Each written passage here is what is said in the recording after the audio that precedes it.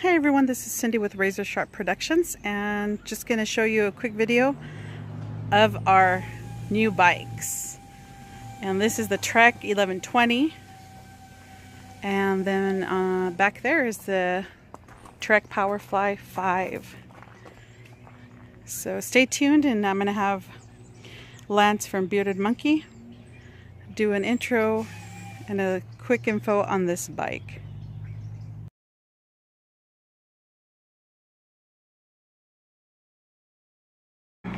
All right, I'm Lance from Bearded Monkey Cycling. I'm here with Cindy and Amar to talk about Amar's new uh, Trek 1120 Adventure Touring bike. This thing is awesome. The uh, 1120 is based on the Trek Stash, which came out about two years ago. It came out in what they call a 29 plus wheel size. The 29 Plus is pretty unique and it's pretty cool. It gives you a huge tall tire with a huge, or a huge tall wheel with a huge tall tire and a huge wide tire on it. This gives us a massive wheel that rolls over everything, and it gives us a, a, a tire that's really versatile in running different tire pressures. So we can run this tire pressure a little bit firmer so that it rolls very fast on smoother surfaces, but more importantly, we can drop the pressure in this tire way, way down to say 11, 12, 13 PSI and just make kind of the ultimate rock crawler um, and go over everything. This bike, uh, based on the stash, can do no wrong with these big wheels on it. It rolls fast, it rolls smooth, it has unlimited amounts of traction. Uh, if you go into a loose sandy terrain, it's gonna hook up and grip into it. Um, if you miss a corner, if you do anything wrong, this bike wants to stay upright, plow through it, roll over everything, in it's past. So it's super, super cool. Great to see this coming out in what they call an adventure touring trim on this. So what they did with the stash is they got rid of the suspension fork.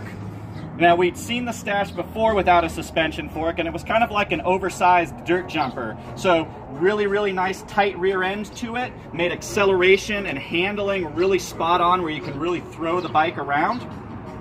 Um, and really rigid, so think of it like a, a supersized BMX bike. Um, now in the adventuring uh, garb, we add some racks to it. So we've got a front rack on here. This is great for a roll stuff sack on the front. This is great for a sleeping pad, whatever other gear you want to put up there nice and out of the way. We've got lots of different rack mounts down the fork here. That's going to be able to secure additional front racks or additional uh, stuff sacks that can mount to those forks. Nice comfy batwing bar keeps you in an upright pulled back position. Uh, it's going to be good leverage for mountain biking. It's also going to be comfortable for all day in the saddle. We've got on the back, we've got a touring rack on the back. This allows you to put a stuff sack on the back or stuff sacks down the side. Remember, bike packing is all about taking your tent, taking your gear, going unsupported across the country, uh, and taking everything with you yourself. And so you want to be light, you want to be efficient, and you've got to be able to pedal your machine with you. Uh, and this rig certainly allows you to do that.